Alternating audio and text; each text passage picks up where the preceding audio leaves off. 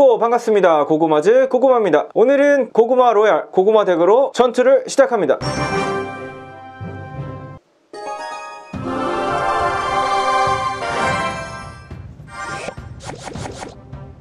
중국분이 오셨네요.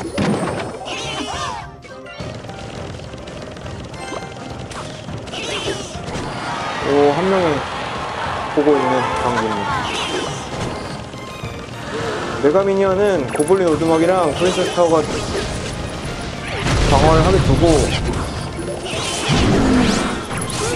암흑 마녀를 방어를 해줬고 지금 같이 날라오는 암흑 마녀와 골렘을 어, 뒤에서 법사, 앞에서 발키리가 방어를 해주고 있습니다.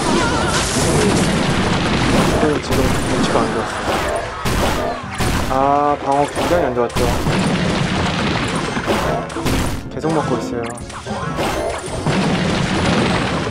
1700대 3000 굉장히 불리한 상황입니다.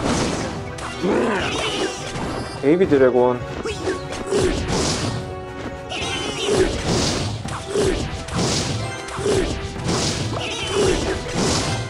일단은 방어는 가능합니다.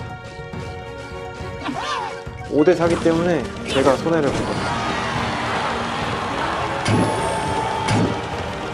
엘릭서 정에서는 거의 똑같이 있습니다. 다른 마녀가 있기 때문에 법사는 아껴두도록 하겠습니다. 상대방의 엘릭스 정지수는 잘 돌아가고 있는데 제 건 번개 맞고 터졌죠. 일단은 골렘도 네, 나오네요. 바바리안으로 네, 다리 건너오면 바바리안으로 한번 붙어서 방어를 해보겠습니다. 전제가 있어서 지금 굉장히 불안한. 잠깐만요.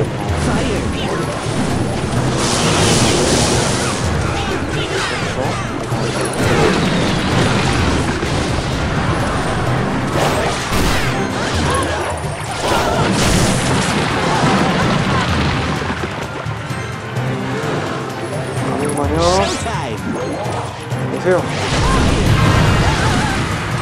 블랙, 블랙 진짜 자주 나와요. 이 사람은 엘릭서가 뭐 하는 거야?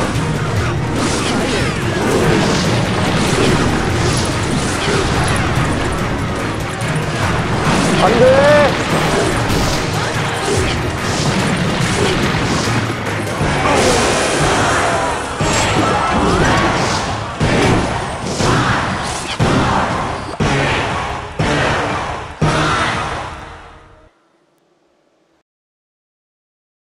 그럼 오늘도 영상 봐주셔서 감사하고 다음 영상에서 뵙겠습니다. 들어가세요.